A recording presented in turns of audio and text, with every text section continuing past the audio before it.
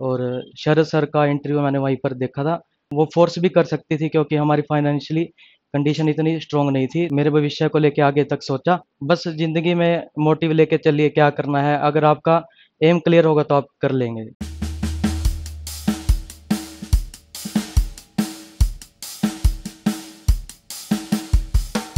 चलिए, एक और नए टॉपर से मिलते हैं, जिन्होंने सेंचुरी मारी मतलब इनका ऑल इंडिया रैंक 100 है। अभिषेक नाम है जो कैथल हरियाणा से हैं और अभिषेक ने ये जो 100 रैंक लिए और इनको एनआईटी सूरत का मिला हुआ है कॉलेज।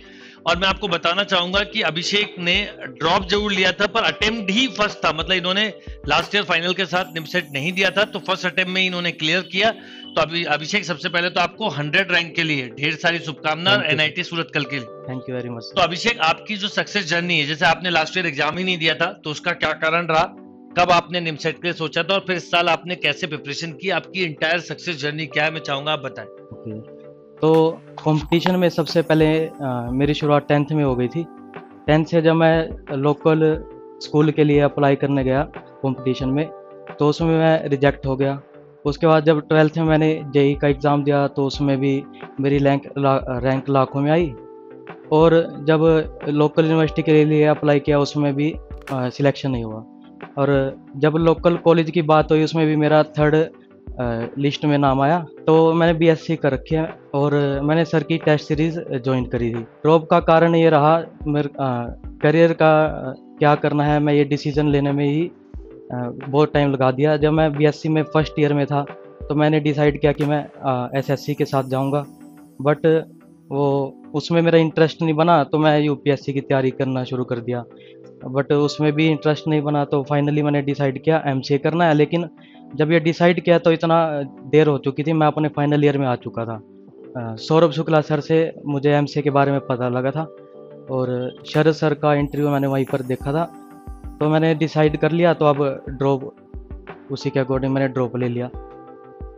आ, सर की टेस्ट सीरीज़ मैंने ज्वाइन करी थी और जो भी कंट्रीब्यूशन रहेगा सौ परसेंट शरद सर का ही रहेगा।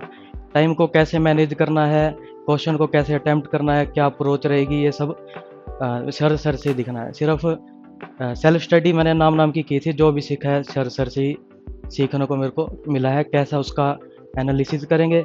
अब अगर मैं क्रेडिट की बात करूँ तो इसमें सबसे पहले मेरी मदर को जाएगा, क्योंकि वो फोर्स भी कर सकती थी, क्योंकि हमारी फाइनेंशियली कंडीशन इतनी स्ट्रॉन्ग नहीं थी तो नौकरी के लिए भी फोर्स कर सकती थी। बट उन्होंने आगे तक मेरे भविष्य को लेके आगे तक सोचा और मैं इस इसी वजह से ड्रॉप ले पाया तो थैंक यू देखिए अभी अभिषेक ने एक बात बोली कई बार ऐसा होता है कि हमें कई बार फेलियर मिलता है। जैसे टेंथ में फेल फेलियर मिला ट्वेल्थ में जेई में इवन यूनिवर्सिटी कॉलेज एडमिशन में भी इनको वेट करना पड़ा तो एक मन में कहीं ना कहीं फेयर था।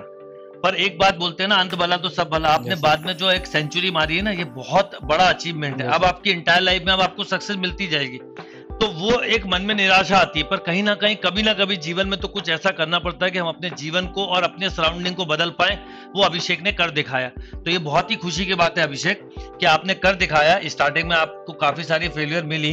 तो मैं एक चीज़ जानना चाहूँगा अक्सर ऐसा आप अकेले बच्चे नहीं है दुनिया में बहुत सारे ऐसे बच्चे होते हैं इंडिया में स्पेशली तो जो बच्चों के अंदर इस तरह से कुछ छोटी छोटी चीज़ें नहीं मिल पाती और उससे जो निराशा आती है क्योंकि आप उस दौर से गुजरे। तो उसके लिए क्या मैसेज होगा? क्योंकि आपने बहुत अच्छा कम किया। और एक हंड्रेड रैंक लाना कोई छोटी बात नहीं होती तो आपने कम किया प्रॉपरली पढ़ाई किया हर टेस्ट दिए एनालिसिस किए।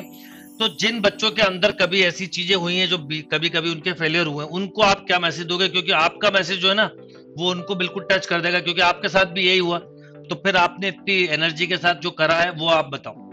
तो देखिए असफलता ही सफलता की सीढ़ी है।